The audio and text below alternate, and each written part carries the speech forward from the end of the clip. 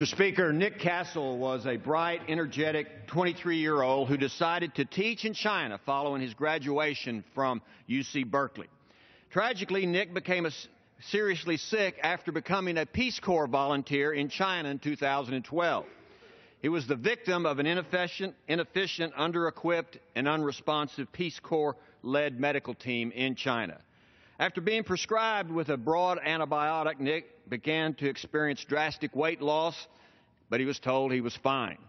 But he was then confined to his bed, and the doctor never recommended he go to the hospital. After experiencing dangerously low blood pressure, Nick was finally sent to that hospital. As the ambulance made its way to Nick, the ambulance got lost. Then, after picking up Nick, he stopped breathing before the ambulance arrived at that hospital.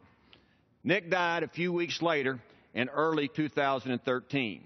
Investigations revealed the medical team misdiagnosed his illness.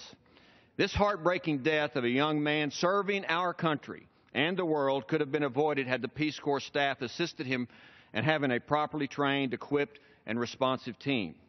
Mr. Speaker, Peace Corps volunteers are America's angels abroad. They are some of the best that we have.